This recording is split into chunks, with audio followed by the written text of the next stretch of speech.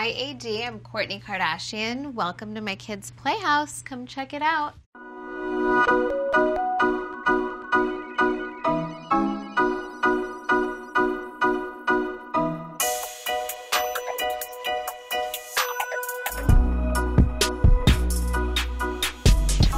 I have been talking about building a kids' playhouse since Mason was super young. This was I'm talking like years and years ago where I used to go on blogs. I don't even remember what blogs they were now. And I just have a folder of all these old photos. I don't even know. And I couldn't decide on the right style and the right one. Nine years later, Scott was like, I'm taking this into my own hands and I'm building the kids a playhouse.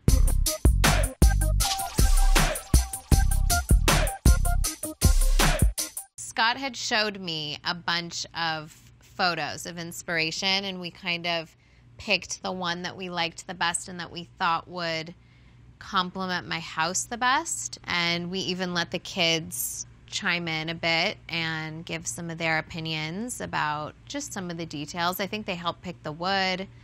And so I love that it's modern and sophisticated, but still really warm. And it's not the style of my house per se, because it's more modern, but my house has the same wood on our pergolas outside, and the wood floors inside match the wood floors inside my house. It definitely took a few months to build. So we made it a technology free zone. So there's no iPads, phones, computers, video games, TVs, nothing is allowed inside. That's why we have a lot of books and, you know, it's great for playing games and really just being imaginative.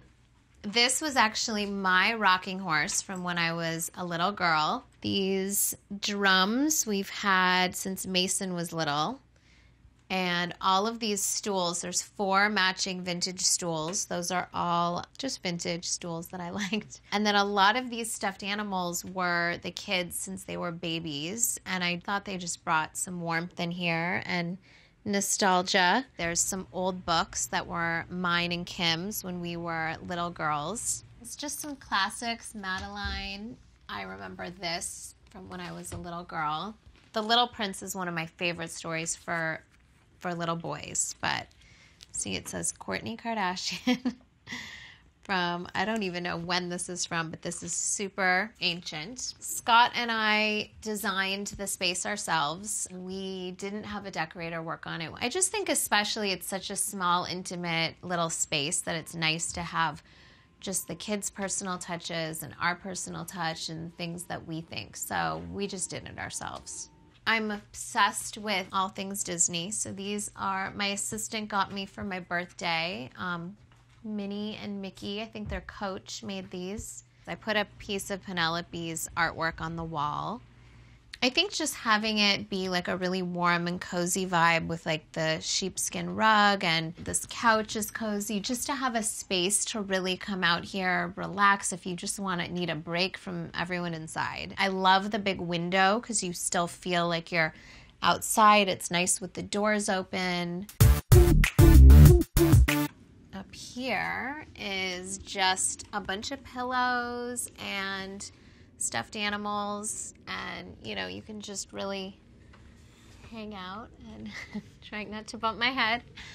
I would say Penelope is up here the most. I would love for them to all hang out in here together, but currently they don't. They'll come in here separately. I found the most. Like Penelope will come in here with her friends. I think the no technology is a turn off for Mason. He just doesn't love that. And Reign will come play in here and hang out. I think my wish list is just coming in here more and spending time in here because it's so cute. I think I'm going to come escape in here and start reading books, and I'm not even going to tell anyone where I went.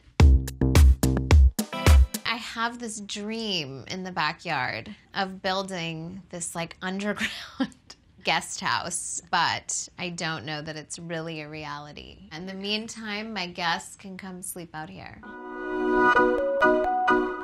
Bye, AD. Maybe next time you'll come check out my actual house, but thank you for visiting my playhouse.